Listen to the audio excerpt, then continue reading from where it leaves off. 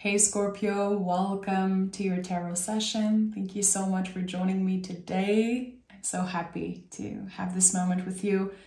Um, it's such a pleasure to start the week with Scorpio. Your reading comes out every Monday now, so make sure to subscribe and like the video so you don't miss out. I'm going to be showing up for you guys every Monday. So, Scorpio, what's happening here? There's something, I have goosebumps. I'm starting to shuffle the cards. Okay, what's happening with Scorpio? Give me the present moment energy for Scorpio. Why do I want to laugh and giggle? Oh boy. Scorpio, what's happening? Three of Swords, and I'm here giggling and laughing. Magician, Seven of Wands. Okay. Let's honor that. There's a lot of energies for you and the star card underneath it all. Makes sense. Okay. Three of Swords, the sacred heart. It takes so much courage to live accordingly to our truth, to our values, to our heart, to fight for what we want. Seven of Wands is a lot about that. It's fighting for what we believe in. And not everyone understands what we're fighting for. Not everyone believes we're, you know, fighting for the right reason, or they might be questioning our motives and why we do certain things.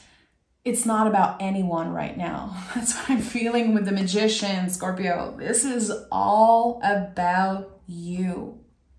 How you've been challenged the past three years. When I see Three of Swords, usually there's something about like a three year cycle that could be ending. And it feels like you've been fighting for your truth to be heard. You're done fighting. You're done fighting. You are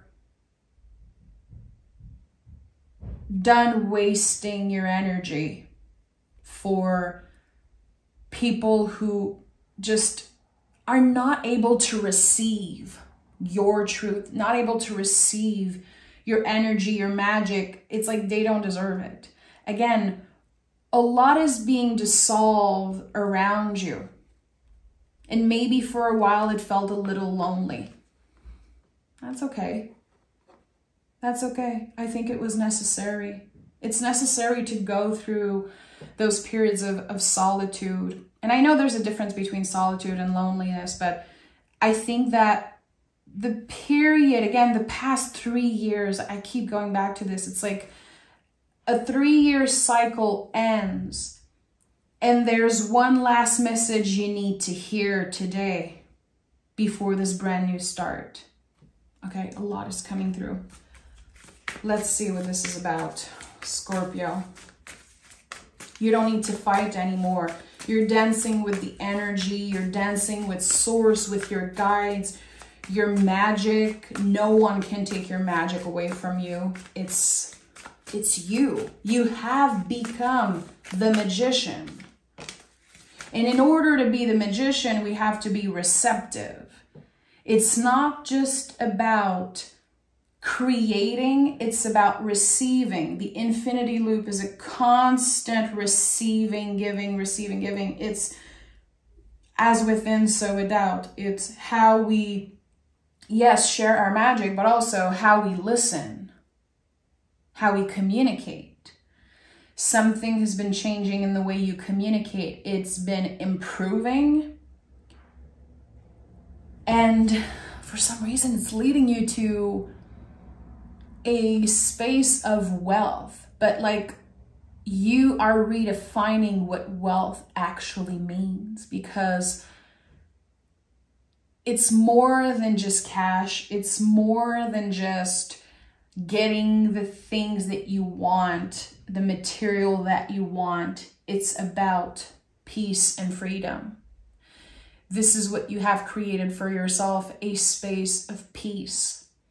And it started in solitude. It's something that you cultivated in solitude.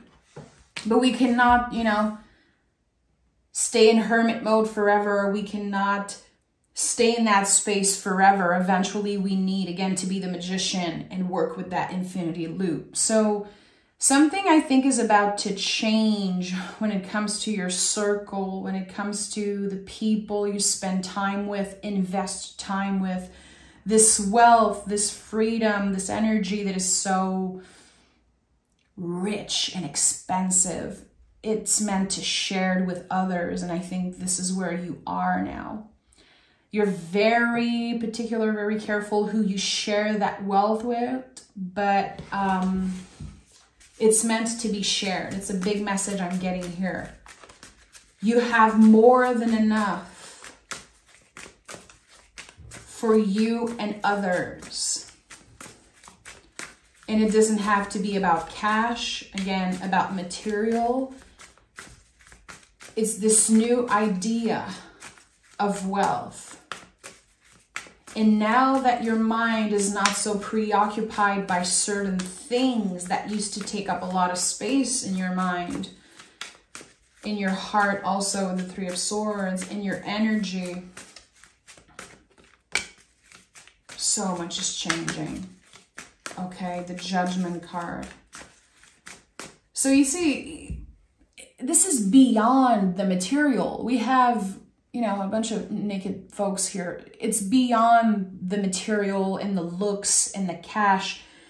Again, it's this new idea of wealth, it's this new idea of abundance. For a while, maybe you believe abundance looked a certain way. Okay, if I only had enough cash to never worry about this, if I only had a perfect body, if I only had a partner to love me so much, oh, life would be so easy. No, it's not true that's the thing. It's the biggest lie. It's the lie that, you know, big companies want us to believe. This is something that I repeat a lot in my readings, but it's so true. It's like big co corporations and big companies, they benefit from us aiding ourselves, from us needing more, needing more stuff. We have enough stuff. We all of us, I'm sure, we have enough of the junk. We have enough of the stuff. Scorpio, you're going to be invited here to declutter. Energetically, there are a lot of things that you have outgrown. I think that you're very careful with what types of things, objects you're keeping around your house. You want things of value, things that are solid and again it's like you're getting rid of the junk and it's not just in the material world it's also cleansing your space energetically and also just letting go. I'm hearing let them go. Let them go. You don't need to be attached to anyone or anything scorpio. You are the master of constant death and rebirths. And with the judgment card, magician, this could be a fresh start. It starts in your mind. It definitely starts in your mind as you declutter the heart, declutter the house, declutter the mind, you're making space for something new. This is it. Look at this. This is it. The Fool is number zero. I never believed the Fool was the leap of faith, and I really honor everyone's interpretation of the tarot. I think it's beautiful that we all have different perspective on cards. To me, the Fool will never be a leap of faith because it's number zero. It's the egg. it's who we are, our truest essence. It's the liminal space. It's the moment before the magician and the moment after the world card. It's the in between, again, the liminal. So, right now, there could be many question marks in your mind connected to many different things. Like, I don't know what I'm going to do with my relationships. I don't really know if I'm gonna live here still in five years? I don't really know. If this is the work I'm supposed to do. There's a lot that you don't know. And I think that the Fool is inviting you to embrace that mystery. You are fixed water, which it's not easy to be fixed water. Like, you know, I'm a Scorpio rising, my sun, moon, and uh, my uh, sun, moon, rising, all fixed. So trust me, I know what it what it's like to be fixed. It's very challenging, and sometimes we can feel like change is so out of reach that it's going to take so much for our lives to change because of the fixed energy. Actually, no. Because we are so clear with our values, we're so clear with who we are with that fixed energy. And Scorpios, they know.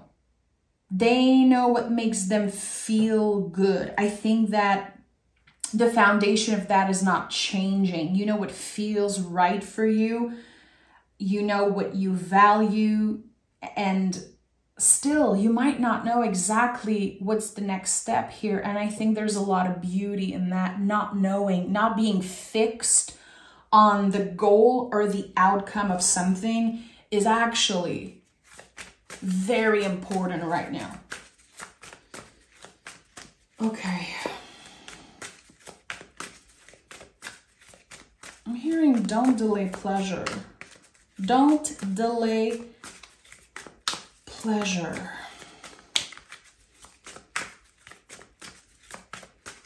Okay. There's there's someone kind of stepping in your your reading. It's weird. It's like there's a peak. There's an energy that's peaking. And I'm hearing a you're the mentor. Oh boy. Okay. Let, let's pick cards and, and I'll see what's coming through with that. Yeah, okay, Page of Wands is here. There's an apprentice. You're about to take care of an apprentice. You are about to help someone analyze their own darkness um, this could be a new friend, a new potential partner, or again, someone that will help you with work if you have a company. Um, I feel like at first it's a little scary because it feels invasive, especially if you've been spending a lot of time alone, if you've been, you know, dealing with your stuff, dealing with your business, your work, your hobbies, and it's just about you right now. It's been just about you for at least the past year here. Um, you're about to help someone work with their darkness. It's like you're you're helping someone go through a massive rebirth.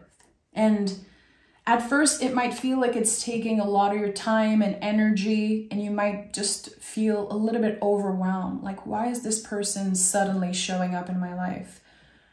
Why am I again teaching someone uh, important lessons? Like it's not my job. I think that at first there's a little bit of fear or uncertainty coming up like why is this person so attached to me? Why is this person needing something from me right now? I'm not sure how I feel about this. Um, there's something important about them because you're helping them see something in the darkness, grow in the darkness. And they are helping you get to the light of something. I think that this is going to help you with your confidence. It's going to help you set the tone for something. I need to pick more cards about that. at first this person feels annoying. This is what I'm getting. I don't know why, but it's like someone is a little annoying. They really want you to work with them. They really want you to teach them something, show them something. And you're like, oh, that's not my job. I don't know if I have time for this. and then you say yes and you initiate a new beginning that's very, very surprising. You're going to be surprised by this. Your future self is thanking you. This person is helping you cut the cord with the past. It's they're helping you let go of something. Something that's been living rent free in your mind. So either they're helping you move on from a past relationship or they're helping you see again the light. It's interesting how in the 10 of swords you see the, the sun rising. There's a little bit of light in the background, especially on the traditional version. But again, you help them tap into their own darkness, which might be a little weird. And they help you see the light. So there's someone that's speaking in your reading, peeking into your life suddenly, unexpectedly. And it could be happening. And I'm, I'm you know, working with the, the predictions that are coming through here, honoring that you're to meet this person, I think, on the first day of a new season. I'm hearing solstice could be midsummer, could be, there's something about a specific date. Notice how the star is here, how, again, everything that's happening for you right now is helping you see beyond the facade of the material, what seems obvious, and again, the junk, the material the illusions that you entertain for so long that you need to look a certain way, you need to own certain things, you need to make a certain amount of money. We're going way beyond that. It's the rebirth after a trip into the underworld. And now you're helping other people travel in the underworld just like you've been doing. There's so much coming through. Yeah, Four of Wands. Something is destined here. Something happens in perfect synchronicity. Four of Wands to me is a perfect energy. Nothing's perfect in life. Only sacred geometry, I would say, is perfect. That's just my opinion. Four of Wands to me is almost perfect. It's the Emperor and the Empress, it's Mars and Venus. I think that right now in the astrology, Mars and Venus are working together, if I'm not mistaken. It's not easy. It's very confusing. It's like we want to go fast. We have this urgency to make a lot of things, do a lot of things, but Venus is like, come on, are you sure it's aligned with your values? Are you sure you're being careful? Yeah, you're ready a lot of you are starting to build a new project, starting to create the blueprint of something right now. It's destined to happen. It's the perfect timing. Again, you know, Four of Wands is here. I, I heard like midsummer. Um, is it midsummer or is it like summer solstice? There's something about that it could also be the date of the full moon, the next full moon. There is someone new you will be meeting on a very specific day. Again, full moon or a day that seems like a, a threshold for you, a celebration of something. It's a perfect moment of synchronicity and it is leading you to a new beginning that feels very magical, yet a little confusing. It, it, it seems a little bit too good to be true. If I'm if I'm like receiving this message, at, you know, with my Scorpio rising heart, I would say it seems a little bit too good to be true. I think that you're still figuring out to work with your boundaries and letting the walls come down because I think you've been hurt in the past. You've been disappointed. You had to fight for people to listen. You had to fight to keep people in your life maybe at one point. No more. I don't i don't think you're ever going to do that ever again.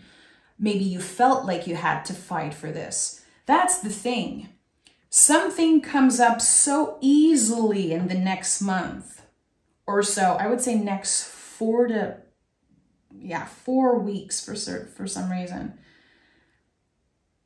Something comes up so easily that it's almost weird for you to receive it because again the three year cycle that ends you've been fighting constantly feeling like you need to fight to keep people in your life to have things work for you things move smoothly and softly. You're definitely working hand in hand with venus with the softness, the the malleable energy of Venus and the beauty of it. You're working hand in hand with Venus energy right now. I would say if you know astrology a little bit, um, look at look up your chart. Where is Venus? Where is Taurus? Where is Libra? Um, there's something changing there is what I'm getting. Okay, let's pick more cards. I want to know more about the Ten of Pentacles. It feels like a threshold for me with the Ten of Swords, the Fool, the Judgment card, the Ten of Pentacles, the Threshold. Look at that. The World card. You're out of the liminal space before the end of this week a week after listening to this reading. You're out of an old era, an old energy. It's been sticky. It's been following you around like a little dark cloud. And you've been asking yourself, why? Why is it so hard for people to love me, to like me? Why is it so hard for me to get the truth? Why is it so hard for other people to be clear with their feelings and not play with me like a yo yo? Like, Again, you are free here. That's the thing. There's so much freedom and this redefining of wealth and freedom that I felt earlier, it keeps coming through.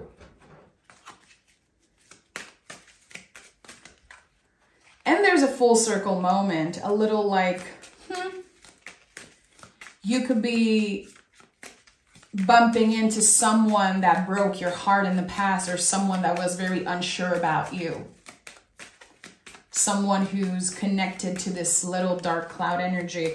You're kind of bumping into them randomly and they're like, wow, Scorpio looks freaking good. They're going to be attracted to your energy, but I don't think you care anymore. Again, you're free. I want to validate that for a lot of you, you've been feeling stuck in the quicksand for a while, stuck in the mud or you were still productive and still doing things, but there's an area of your life that felt so like suspended in time. You're like, come on. Like, I'm getting older. Life's moving. Everybody's doing a bunch of stuff, and I'm just here and I'm hoping for something to happen. And I don't want to settle for less. I think that this is definitely about someone who refused to settle for less, and you could be so proud of that. I think you're going to be very happy. Your future self is like, thank God you showed yourself a little bit of compassion. Thank God you did not jump into a situation that was unhealthy for you. You did not invest emotionally. You did not, you know, play with your boundaries, play with your values to make someone love you. You're going to be so happy that you remained authentic and aligned with your truth and values. Again, you're working hand in hand with the planet Venus right now. Working hand in hand with Venus, and I want to pick more card. Tell me why I'm feeling that. You're creating something beautiful. The cards are like going crazy. A time for healing. So Venus could be could be connected to healing your body healing certain body parts or accepting parts of your body that were very hard to love in the past, something that you've been judged for in the past. You're reclaiming that beauty.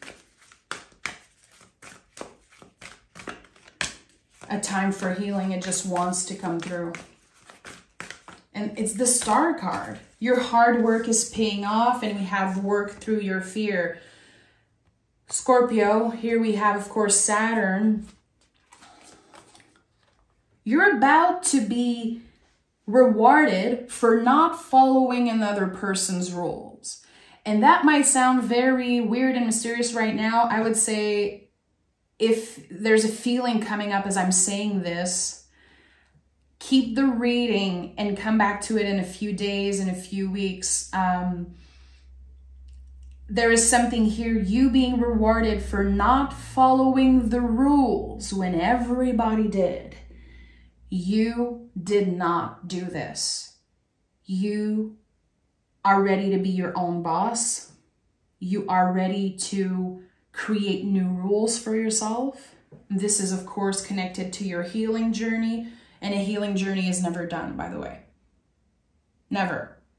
We're always going to have new things to heal. Life gets in the way. Life is a spiral. We constantly heal. We go through death and rebirths constantly. You guys are the master of that. We all have a lot to learn from the Scorpio energy. And it's like you constantly adapt.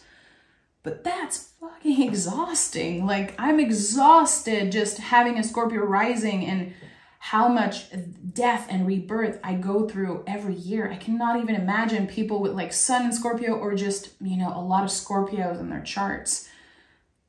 And dealing with Scorpios also, uh, when we are in love with a Scorpio, it's, it's complicated. It's complicated. So I feel like there's something very cyclical. The Page of Wands I associate a lot with rhythms, with seasons, you're stepping in a new season, clearly. But it's one with new rules. It's one where you dictate the rules. You are the leader. You are the master. You are the teacher here. So I don't know what you've been doing. I don't know what you've been cultivating. You're about to be the one teaching others to do that. You're about to be the one in control. It's like finally you're getting a little bit of control after fighting to be heard, to be seen. So again, this is, yeah, definitely connected to your healing journey, but it's connected to someone bringing you into the light, which is a very important message of this reading. You're pointing them towards the darkness and how essential it is to dive in the underworld, to do the shadow work, the dark night of the souls, and all sorts of things. But they show you the light. And I'm going to be honest, I think that the light is a sacred mirror that's being just held up to your freaking face. There's a lot of message here. And I feel like the messages I'm getting are super dreamy. So be aware of your dream. Keep a dream journal. Notice the symbols and the signs, synchronicities, numbers, um, the objects you're finding, the animals you're seeing in nature. There are messages coming through from your guides in that way, kind of pointing you towards the light. Um, I'm not supposed to know what it means. I'm not. And I don't think you are supposed to know exactly what this means today. This reading should be digested and it should be revisited. I would say in three days, four, five, maybe a week. But there's something here. It's like it's brewing in, in the cauldron and it will expand each day with you. This message is like, it feels like a, a snowball. It's very weird.